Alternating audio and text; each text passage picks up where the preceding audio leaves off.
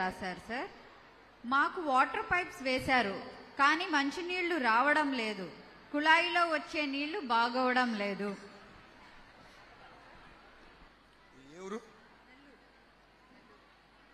Nellore city. Panchayat.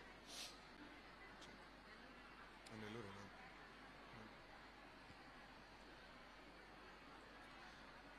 తల్లి నేను పాదయాత్రలో ఒకటి తెలుసుకున్నాను ప్రతి ఇంట్లో కూడా తాగునీటి సమస్య ఉంది. కొన్ని నియోజకవర్గాల్లో అయితే మహిళలు బిందెలు మోసుకుని దాదాపు మూడు నాలుగు కిలోమీటర్లు నడిచే పరిస్థితి వచ్చింది. అందుకే మొన్న తెలుగుదేశం పార్టీ మహానాడులో చంద్రబాబు నాయుడు గారు చాలా స్పష్టంగా చెప్పారు. ఇరవై ఇరవై నాలుగులో తెలుగుదేశం పార్టీ అధికారులకు వచ్చిన వెంటనే ప్రతి ఇంటికి ఉచితంగా నీటి కుళాయి అందజేసే బాధ్యత మేము తీసుకుంటాం.